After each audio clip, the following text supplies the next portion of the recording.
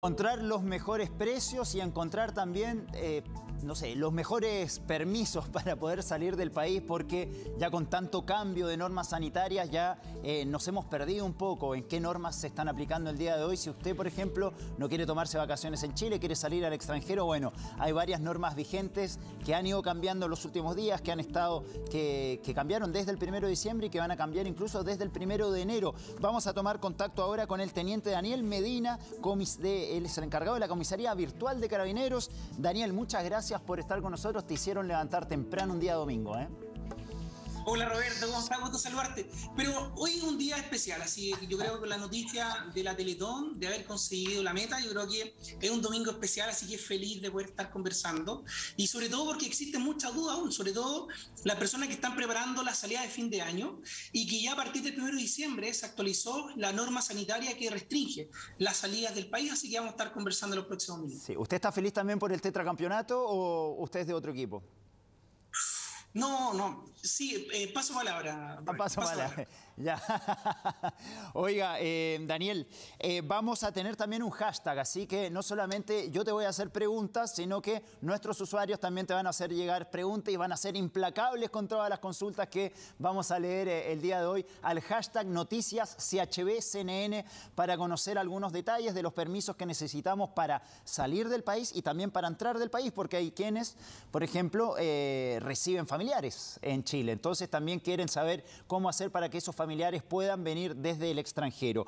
Bueno, quería partir preguntándote, eh, a partir del primero de diciembre cambia la situación. ¿Cuáles son los cambios que se aplican al plan paso a paso para la entrada de extranjeros, extranjeros residentes y extranjeros no residentes al país?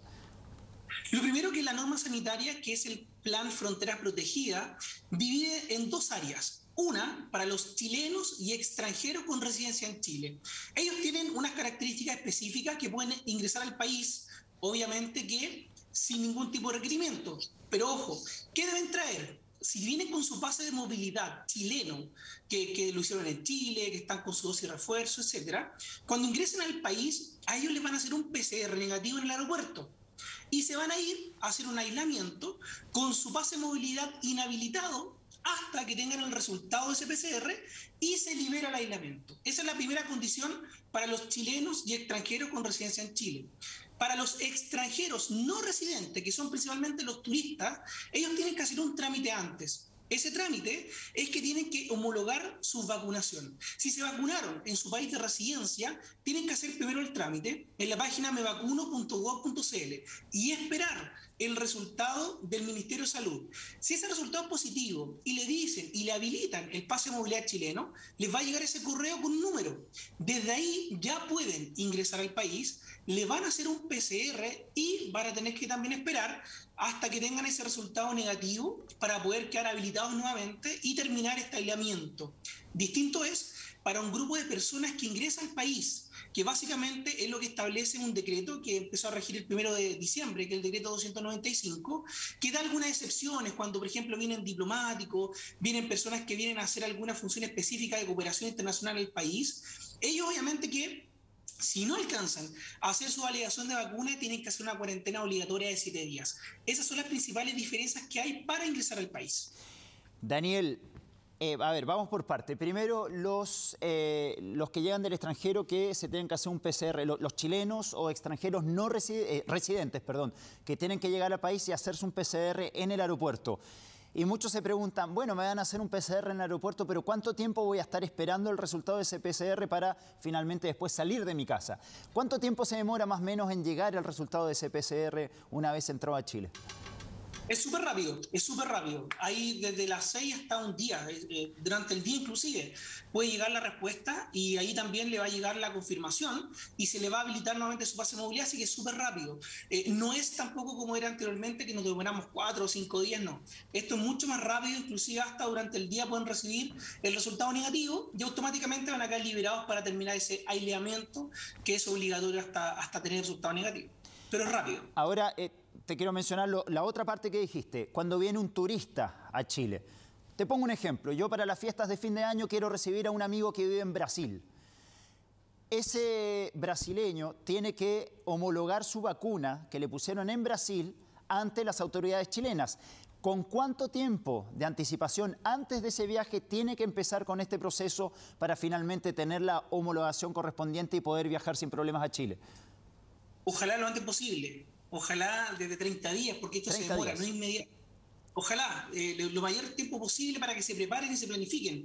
La respuesta no es inmediata, porque obviamente que uno llena la encuesta que está en la página eh, de, de, vacuna de Chile, mevacuno.cl, le piden antecedentes, tienen que subir antecedentes de la vacunación, van a llenar una encuesta y la respuesta se da a validación. El Ministerio de Salud se puede demorar días, semanas inclusive en responder a la persona, así que no es una respuesta inmediata. Nos encontramos también con muchas inquietudes de personas que hacen el trámite cuando van camino al aeropuerto y obviamente a no tener este requisito, no pueden entrar a Chile. Así que ojalá las personas con planificación, con mucho tiempo lo hagan eh, y se anticipen porque no es una respuesta inmediata.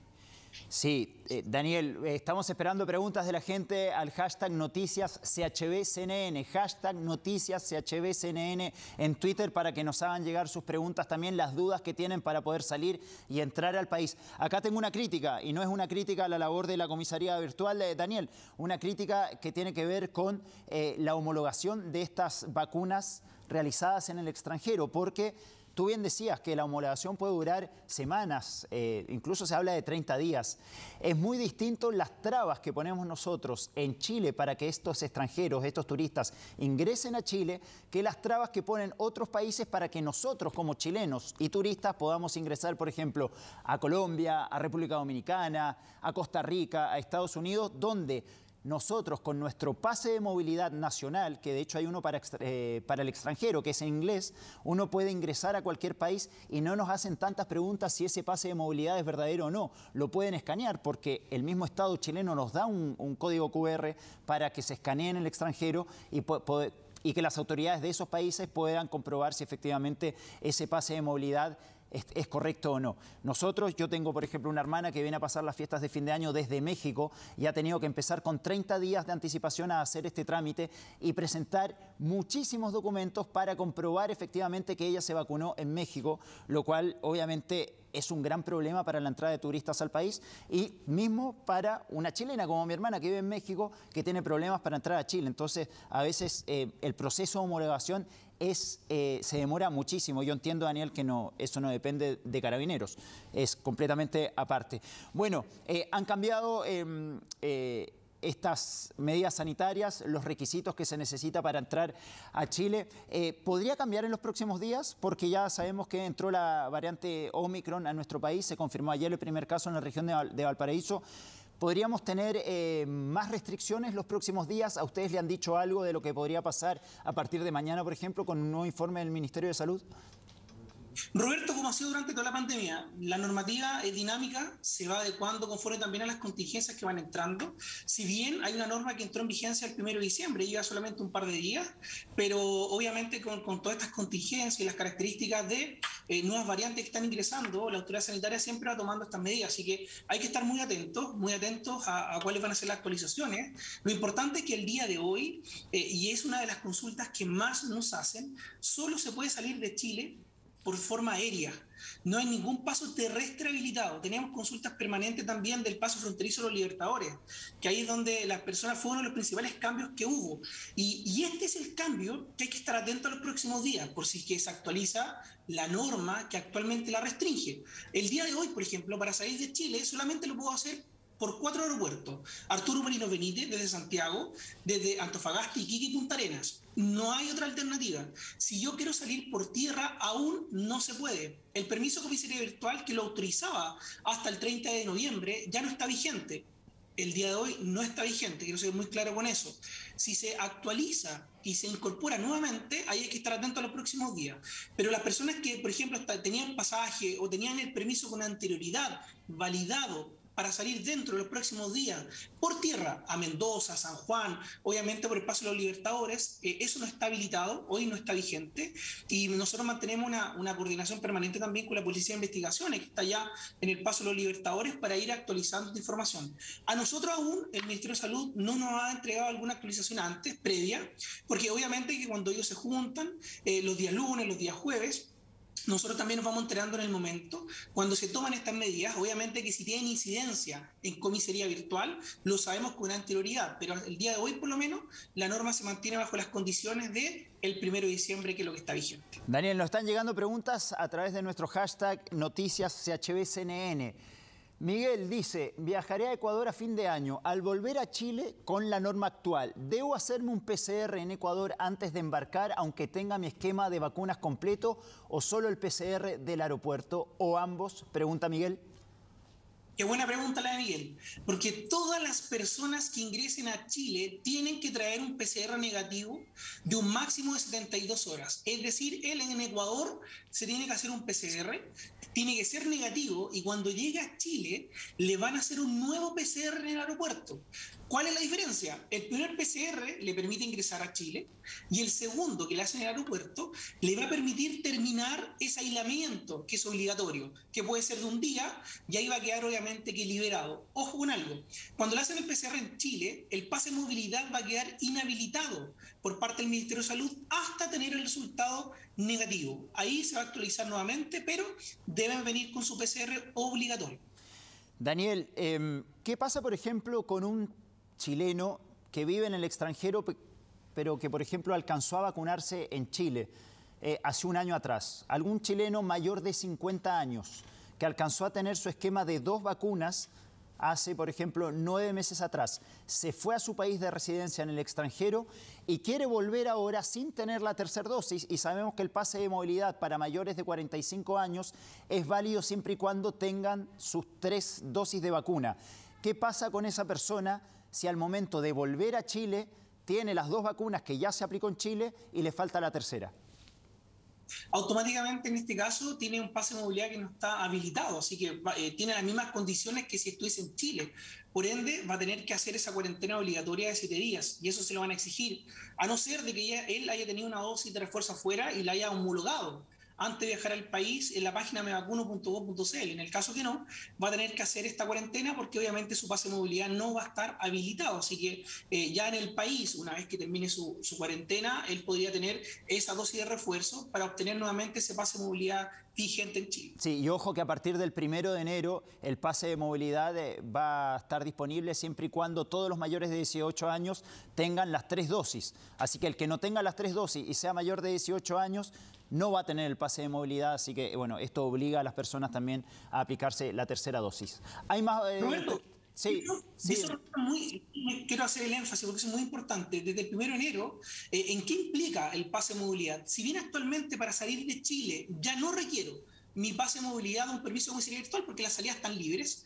Eh, lo que cambia son en el interior del país, los aforos, eso sigue. Aún exige, eh, existe el plan paso a paso que tiene cinco fases. Lo importante es que aún no existe la cuarentena, ya no está vigente. Por ejemplo, si estoy en transición, ya no tengo que hacer una cuarentena el fin de semana porque la cuarentena ya no existe, sino que es una restricción. Y ahí es donde van a necesitar el pase de movilidad porque los aforos van cambiando según la gente que tenga su pase de movilidad vigente. Bien, Daniel, nos llegan más preguntas por... Eh, Twitter, Sebastián Berríos dice, ¿dónde se realiza la cuarentena cuando se viene del extranjero? Buena pregunta, muy buena pregunta, Roberto, porque eh, cuando, yo, cuando yo hago, eh, es que son temas muy prácticos, cuando yo estoy en el extranjero y voy a entrar a Chile, tengo que hacer mi declaración jurada. Ingreso a la página c19.cl, ya hago mi declaración jurada y le van a pedir ahí el domicilio en donde voy a hacer el aislamiento obligatorio. Yo lo ingreso, yo digo dónde voy a hacer la cuarentena y se debe respetar y debo incorporar a las personas que viven ahí porque van a tener que hacer el aislamiento conmigo. Así que eso lo establece cada persona al momento de hacer su declaración jurada en la página c19.cl. Bien, clarísimo Daniel. Hay más preguntas. A ver, acá eh, Gonza dice, tengo viaje a Chile pronto, vacunas validadas en adultos, pero mis hijos de 9 y 5 años no han sido vacunados en Europa. ¿Qué debemos hacer? Bueno, si son chilenos, ellos van a poder ingresar sin ningún inconveniente, recordando que se les va a exigir a los mayores de 6 años que vengan con su pase de movilidad, obviamente, o con la homologación. En el caso que estén en Chile, ellos lo van a tener que hacer, va a ser la cuarentena, van a poder ingresar sin ningún inconveniente ¿Qué es la diferencia? Si fuesen extranjeros, si fuesen turistas, por ejemplo, que no tienen residencia en Chile, ahí los mayores de 6 años no, no podrían ingresar, porque quienes están liberados para poder ingresar acompañando a un adulto que venga con su base de movilidad o con la homologación son los menores de 6 años. Así que va a depender. Pero si es chileno, va a poder ingresar sin ningún problema, pero los más pequeñitos tendrían que hacer esta cuarentena por, por estos siete días. ¿Qué pasa con una persona que no tiene alguna de las vacunas, que ingresa al país y tiene que pasar siete días encerrados? Por ejemplo, si esa persona quiere salir de su casa o del hotel donde esté para ir a vacunarse, ¿lo puede hacer o tiene que esperar a terminar con la cuarentena para ir a vacunarse? Muy importante, no pueden salir. Las personas que tienen que hacer esta cuarentena obligatoria de siete días no pueden salir, ni tampoco otra persona que esté haciendo la cuarentena con él, ni siquiera, por ejemplo, a vacunarse, a comprar, que voy y vuelvo, no. Y de hecho van a estar siendo, obviamente, que fiscalizados por parte de la Seremía o el Ministerio de Salud para velar que estén cumpliendo su cuarentena. Ahora, obviamente, si existe alguna emergencia médica, alguna emergencia en donde requieran atención de urgencia, obviamente que eso cambia, pero eh, no pueden salir del lugar que están haciendo la cuarentena. Ojo con eso. Sí, bien Daniel, y dejar en claro también, tú lo dijiste recién, que la salida es libre, el que quiera salir del país puede hacerlo, pero ojo a tener el esquema de vacunación completo para poder volver a Chile y poder eh, salvarse de estar siete días encerrado siempre y cuando el PCR de entrada sea negativo. Pero, si bien, reitero, si la salida es libre, hay que tener las vacunas completas para poder después volver de vacaciones al país sin la necesidad de estar encerrados varios días.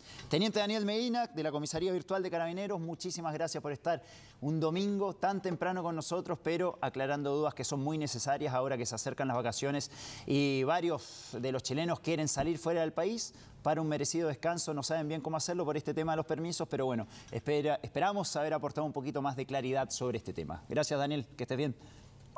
que estén súper bien. Chao, chao. Chao, buenos días.